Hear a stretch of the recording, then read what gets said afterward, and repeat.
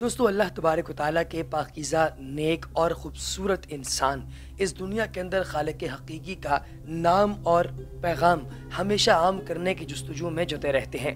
दोस्तों जेर नज़र क्लिप के अंदर आप देख सकते हैं कि एक बहुत ही खूबसूरत मुसलमान भाई इंतहाई खूबसूरत आवाज़ के अंदर अल्लाह तबारक ताली के सामने सर बजानू होने के लिए, सर झुकाने के लिए, सजदा टेकने के लिए, नमाज़ अदा करने के लिए दीगर मुसलमानों को बुला रहा है, आज़ान दे रहा है।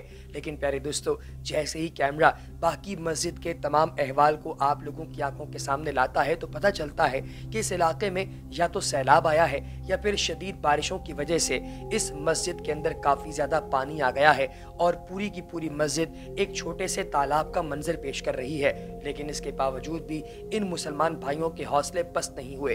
ये एक कुर्सी उठाकर यहाँ पर रख कर उस कुर्सी के ऊपर खड़े होकर अजान दे रहे हैं, और जब तमाम लोग नमाज़ के लिए इकट्ठा होंगे तो यकीनी तौर पे वो इसी मस्जिद के अंदर नमाज़ भी अदा करेंगे। प्यारे दोस्तों, इनके इस ईमान को आप लोग क्या दाम देंगे? कमेंट सेक्शन में इनके लिए कोई एक जुमला ज़रूर तहरीर कीजिएगा।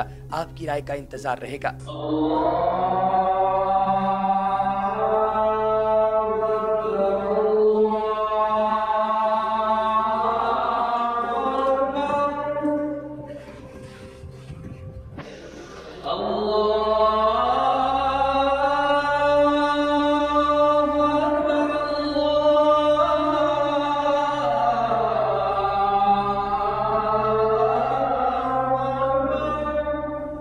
दोस्तों, आपने पूरी आज़ान सुनी। अल्लाह तबारक ताली आपको और हमें इसी तरह से दीन की सरबुलंदी और दीन की सरफराजी के लिए काम करने की तौफीक और हिम्मत अदा फरमाए।